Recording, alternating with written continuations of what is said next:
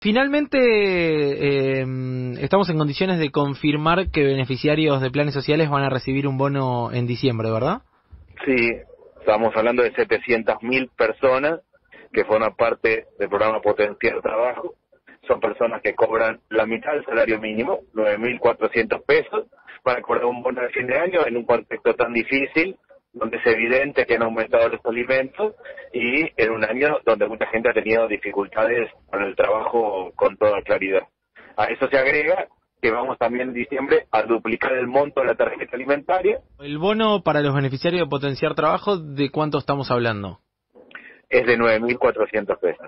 Y eh, esos son los, los únicos dos eh, bonos que se estarían dando, potenciar trabajo y la duplicación de la tarjeta alimentar. Sí, hay dos cuestiones más. Uno, las personas que tienen asignación universal por hijo van a cobrar un plus en diciembre de poco más de seis mil pesos por, por hijo. En promedio, las familias que tienen asignación universal por hijo van a cobrar en diciembre 12 mil pesos porque es casi el promedio de dos chicos por persona.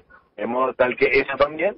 Y por otro lado, se amplía la asignación universal por hijo, se van a ir incorporando hasta un millón más de chicos en la asignación universal por hijo, mucho lo cual están incorporando o sea que hoy tenemos 4 millones de chicos que sus padres cobran asignación universal por hijo, vamos a terminar con 5 millones prácticamente cubriendo a todos los chicos hasta los 18 años.